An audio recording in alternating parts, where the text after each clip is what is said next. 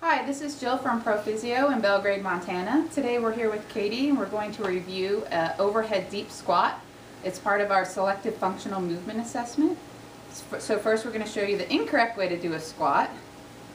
So if you're coming down, go ahead and see how she's losing the, uh, her form here with the trunk coming forward and the legs splaying out.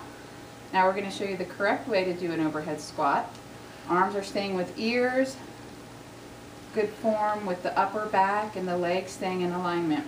This is really important because CrossFit is really big right now and if you do not have the correct form you can be prone to injury.